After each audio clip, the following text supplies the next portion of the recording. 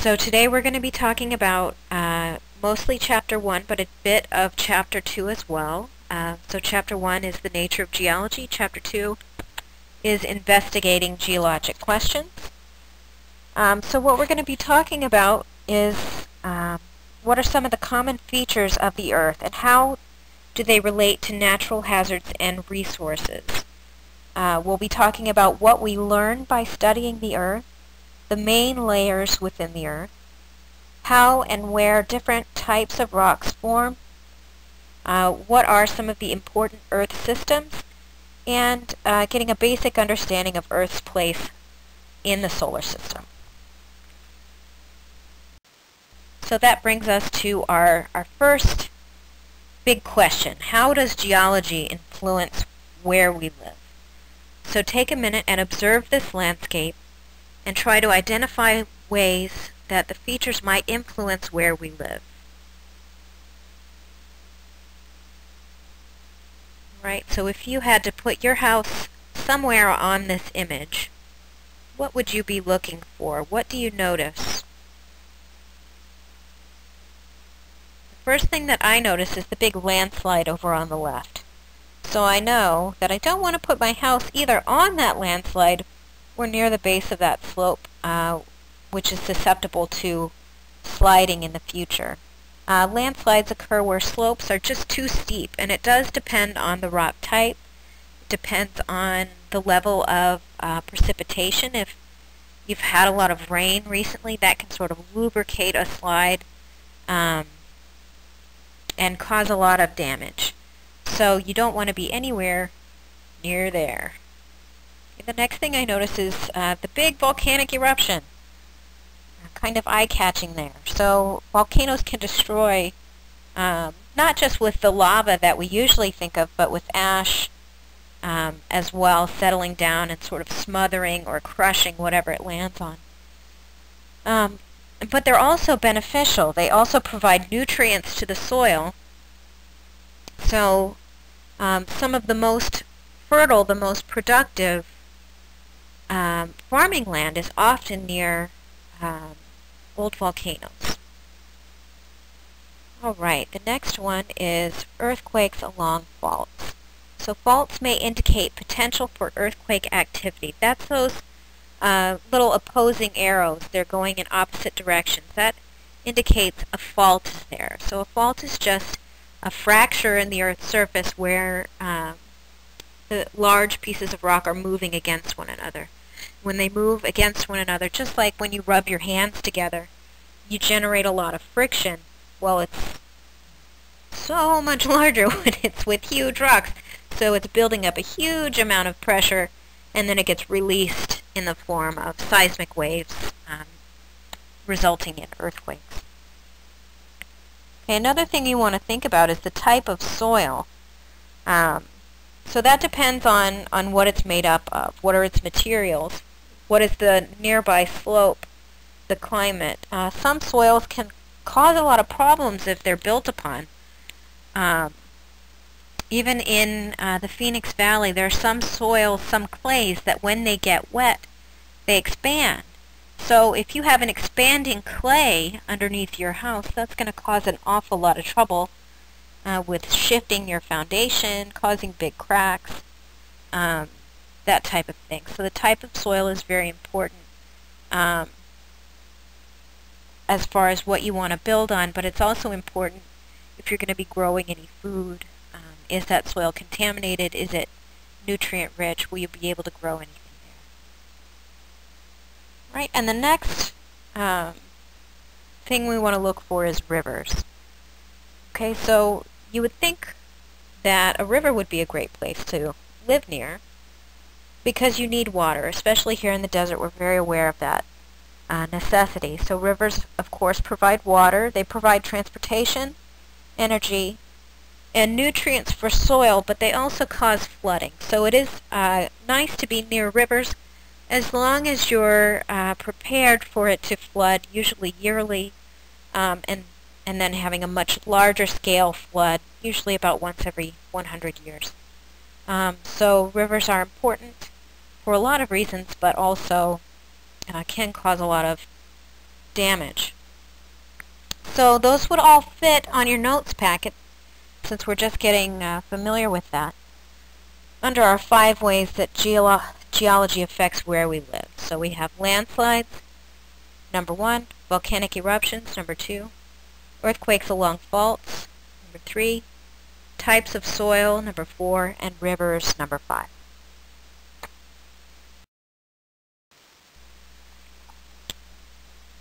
Next, what controls the distribution of resources? In last week's lecture, uh, I talked about resources quite a bit because that's what we have the most contact with in regular life.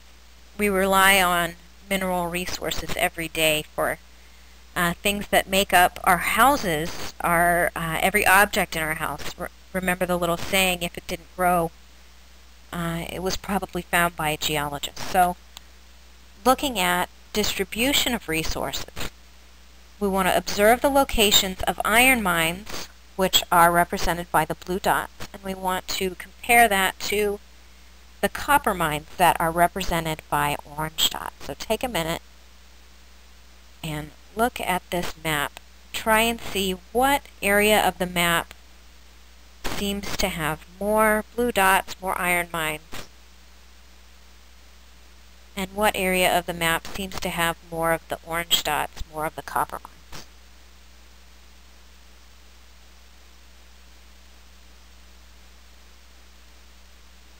Okay, it's important to note that uh, they're not evenly distributed everywhere. We don't have a perfect grid of blue dots or a perfect grid of orange dots everywhere. Um, they're split. You find iron in one area, you find copper in another area. So um, it's not the same everywhere you go. Um, and so what we find is most iron mines are located in the Great Lakes region in Canada. So up in the, the north and the northeast while most copper mines are located in the mountainous western part of North America. So that's us. All along the Rockies, up the west coast, um, you're finding lots of copper mines. So, why do you think that would be? Okay, and take note, where do we find no iron or copper mines? Okay, the southeast and the south central part of the U.S don't seem to have any iron or copper. So what's going on there?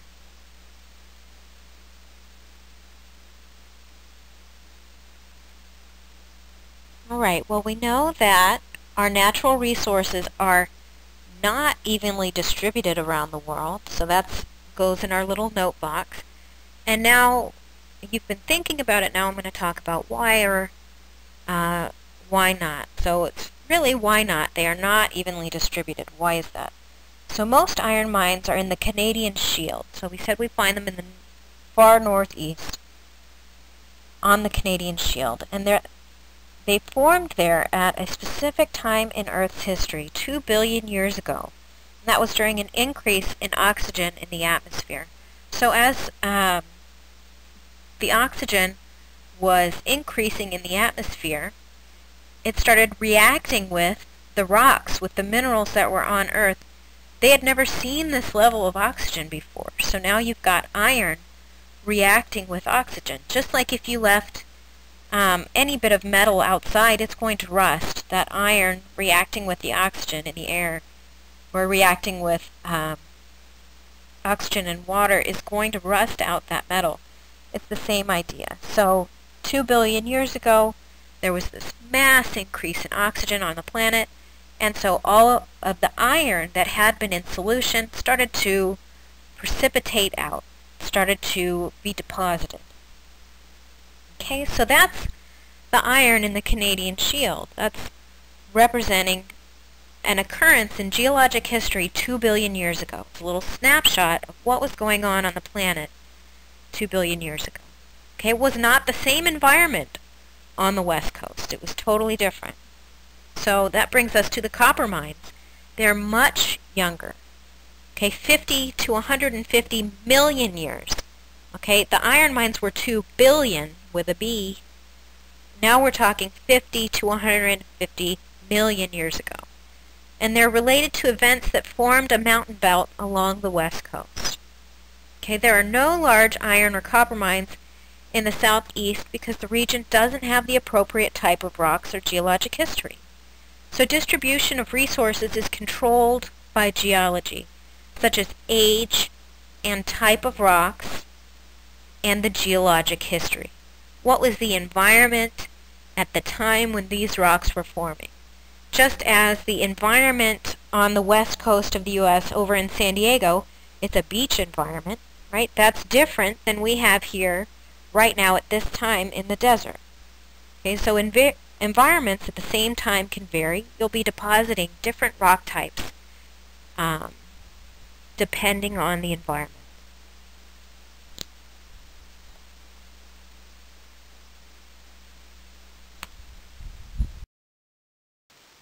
So that brings us to our next notes page. And what is inside the Earth? We know that the Earth is made up of layers. And it's broken up. Uh, the outermost layer that we live on is the crust. So if you think about an apple, you bite into that apple, the thickness of the apple peel is about the same uh, relatively to the rest of that apple as the crust of the earth is to the inside of the earth. Okay, so that outer tiny layer is what we live on. And we live on the continental crust, which is much uh, thicker. It sits up higher than the oceanic crust. That's why we're above sea level.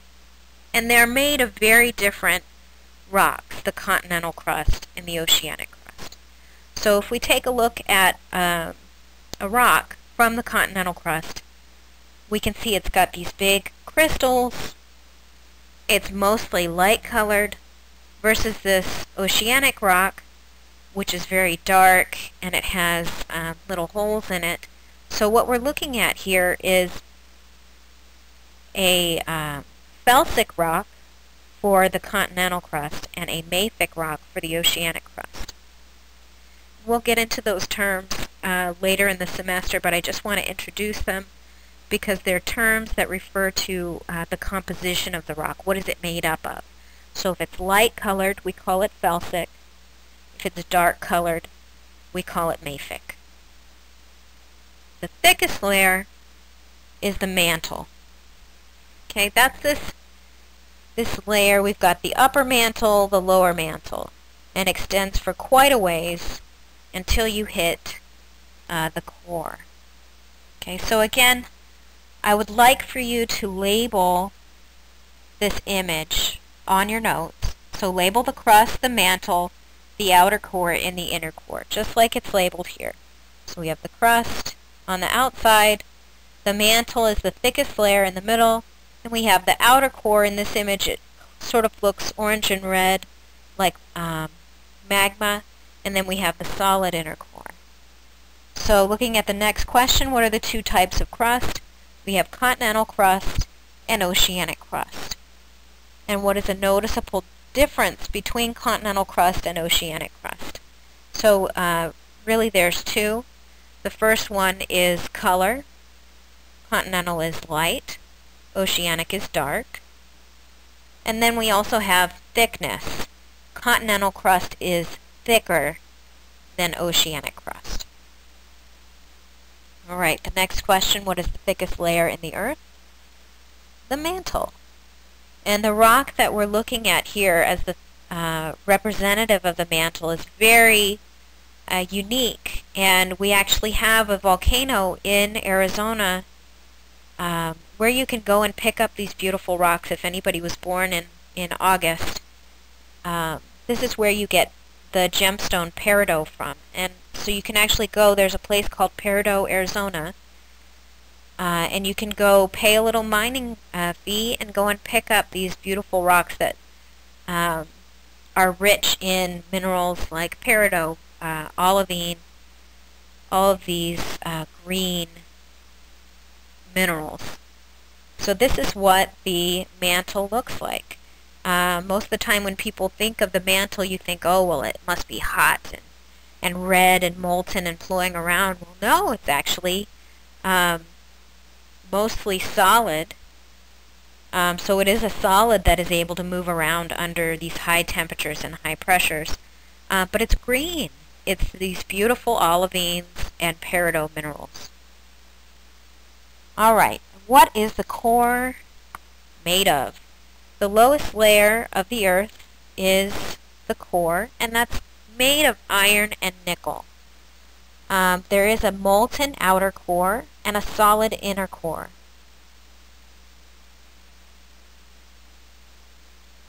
So that is how the inner core is different from the outer core. The inner core is solid. The outer core is molten. It's, it's liquid. It's melted. Okay, and they're made of iron and nickel. That's because when the Earth first formed, it was completely molten um, and cooled from the outside in, but over time all of the densest material sank to the center, um, iron and nickel being the most dense.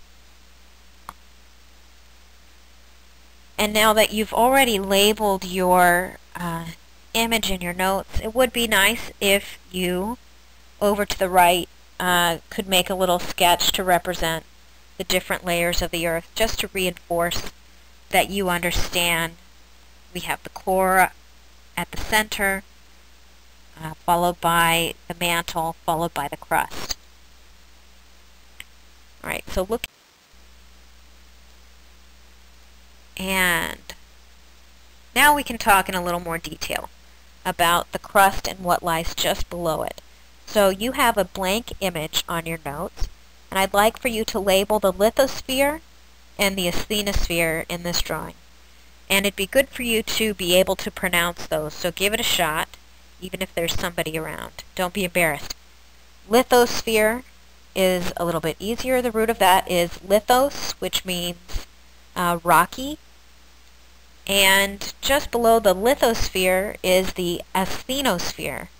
Asthenosphere uh, is weaker and hotter. So what parts of the Earth make up the lithosphere? If we take a look at this image in these brackets, the lithosphere is the rocky outer area, and that includes uh, both types of crust, so we have continental crust and oceanic crust, and it includes the uppermost mantle. Okay, so that outer layer of mantle is included in the lithosphere. And do all Earth's layers have the same strength? Well, if we just said that the asthenosphere is weaker, then certainly not. Um, the uppermost mantle and continental and oceanic crust, because they're close to the surface or at the surface, they have the lowest temperatures. They're cooler and more brittle. Uh, they break more easily, but they are solid whereas the asthenosphere um, is more like putty. It's able to move around, it's able to flex and bend. So the asthenosphere is hot and weak and mostly solid. So I'd like for you to be able to draw a sketch of this so that you know the relationship between both types of crust and the uppermost mantle as the lithosphere. And the weaker hot material below the uppermost mantle that makes up the asthenosphere.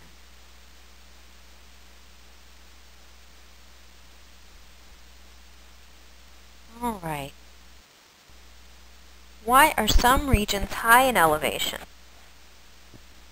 So taking a look at this image, we want to observe this figure and note the relationship between elevation and the underlying crust and the mantle. So the crust is all gray, either light gray or dark gray, and the mantle is represented as green. So what do you notice about this and about thickness?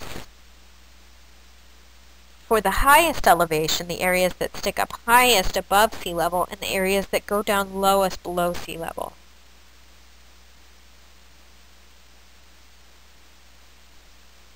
All right, regions with continental crust are higher than oceanic crust. Again, that's why we are above sea level. Continental crust is above sea level. And regions with thick crust are higher than regions with thin crust. Some mountains can be built on top of the crust, uh, but the idea here, you can kind of think of it like an iceberg. So um, some people will say, oh, that's just the tip of the iceberg for a situation, meaning uh, you can only see the, a small bit above the water and there's a huge plug going down below the surface that you can't see. The same thing applies for continents. So if you have a mountain that extends up very high into the air, that mountain has a big root below it extending down into the earth. So the thicker the crust, the higher the elevation. The thinner the crust, the lower the elevation. So the thinnest crust is going to be found in the oceanic crust. So this is just an extension of that. There's nothing in your notes for this to explain why some regions are higher in elevation than others. So here we're observing the relationship between the height of each block and its thickness relative to other blocks.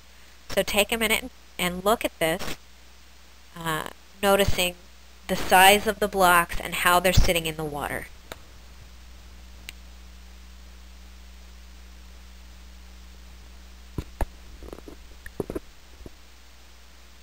All right.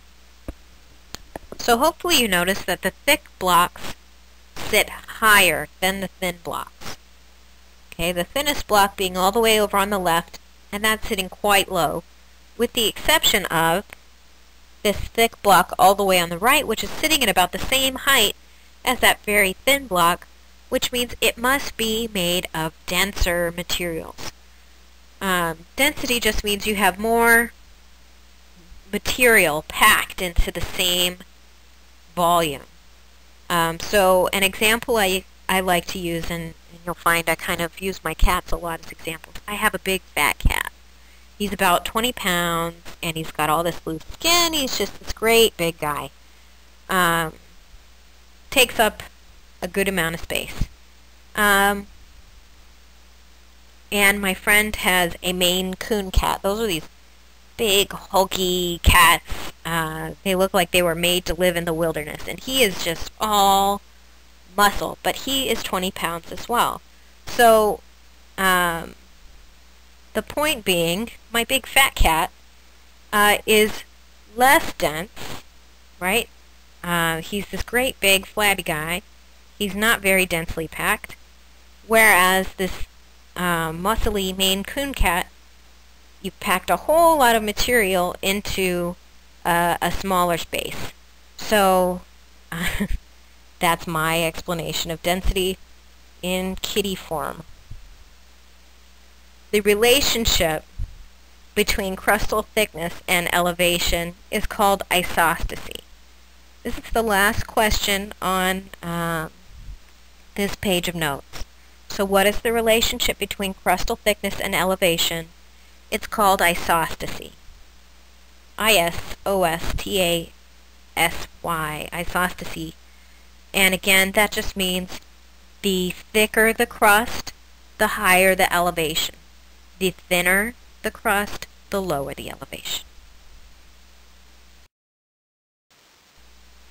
Now, we can think about what forces and processes affect Earth's materials either from the inside or the outside. So you've got the same figure in your notes, and you've got a little chart. What are the major processes that affect our planet? So you're going to list the forces on the left column, and is this an internal or external force on the right? So you're just going to write internal or external, or if you are really feeling lazy, you can put an I or an E, uh, because you've got that written at the top, you'll understand what it is. Alrighty. So, our first force is atmospheric pressure. Atmospheric pressure, that's the weight of the atmosphere pressing down on the surface. So if we're at a lower elevation, if we're uh, on the beach by the ocean at the lowest elevation, there's more atmosphere sitting on top of us. So there's a higher atmospheric pressure than there is when we drive up to the mountains. So if you're driving up to Flagstaff, you might hear, uh, feel your ears pop because it's releasing pressure. There's less atmos atmospheric pressure at higher elevations. Um, so that's an external force. It's outside of, um, or rather, it's not within the Earth. Okay, it's on the surface, so that's an external force. Our next is gravity from the sun and from the moon.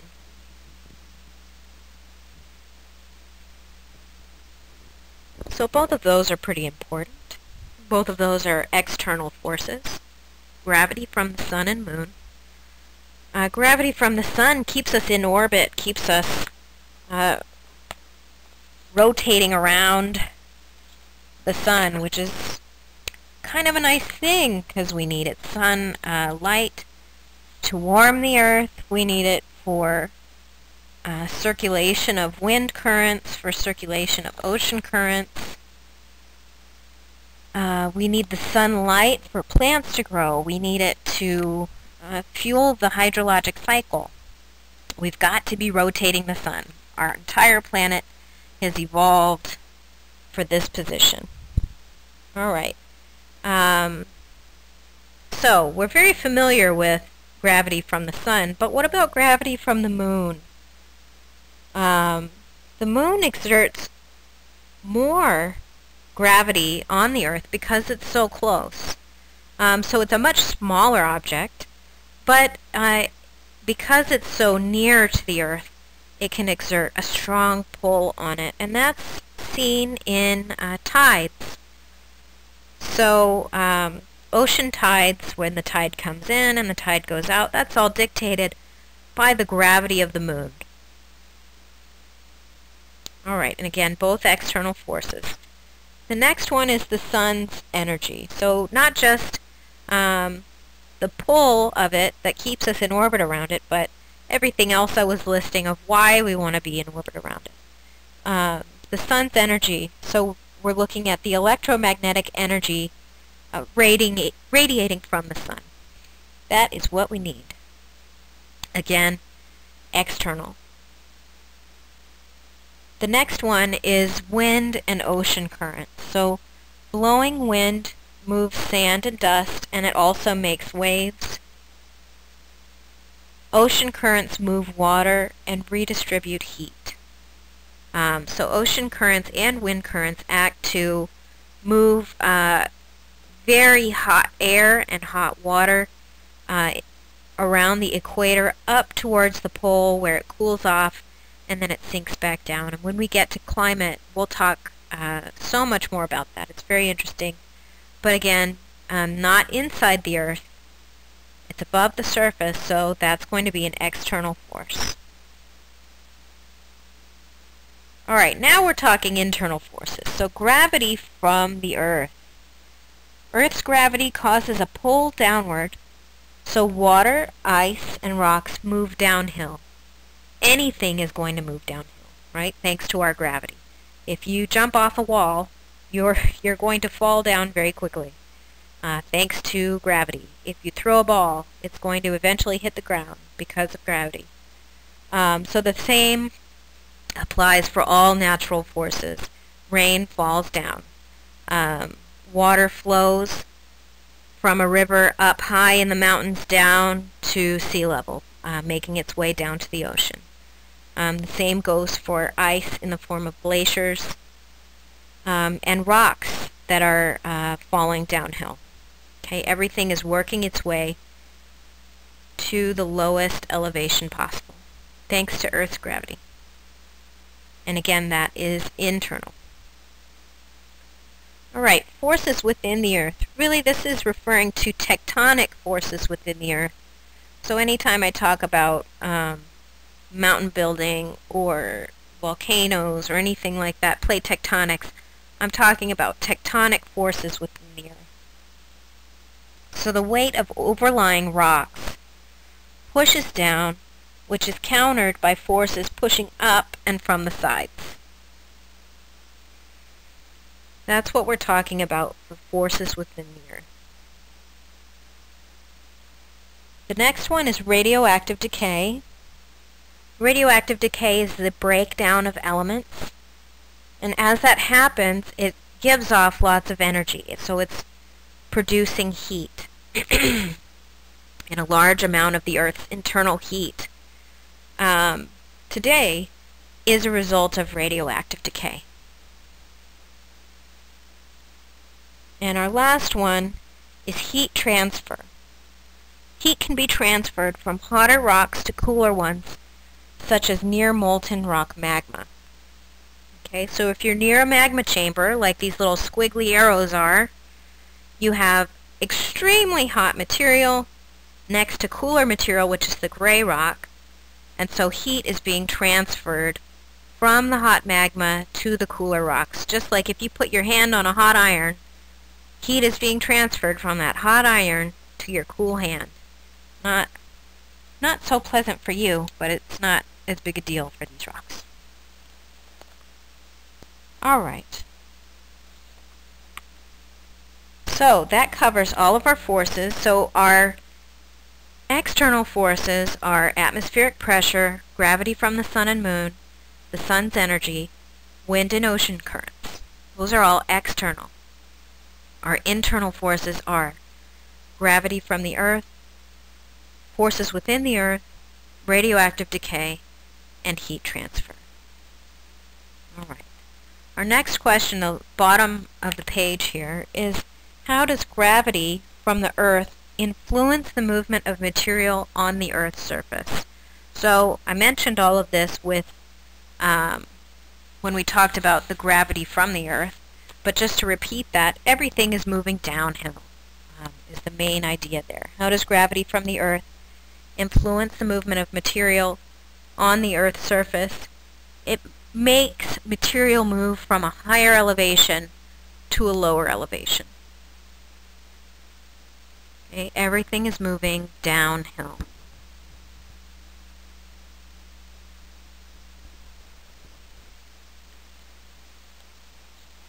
All right.